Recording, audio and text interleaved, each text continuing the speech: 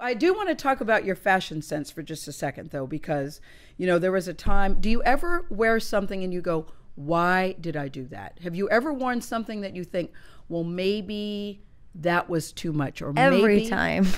Do you? Do you think that yes. What seriously? was I thinking? But that's the joy of it. Is it's humorous and it's fun.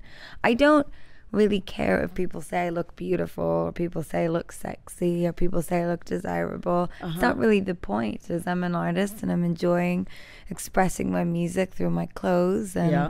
uh, I make all sorts of wild decisions and that's just part of who I am and it's the humor of my work. If you can't laugh at yourself, I think it's really boring. I know, but I think you like to keep us all in the joke, though. I think you like you us- are all pu- i mean the fans are laughing with me Yes. you know and it's that's Yes. part of the you know last night um when we were talking about what to wear uh I just said what we need to do is not worry about what I'm wearing and just Mm-hmm. have a good time because you know that's the whole point. Is it's not about what you know style or being a fashion icon. It's not about who you wear or what you're wearing. It's about how. how you wear it.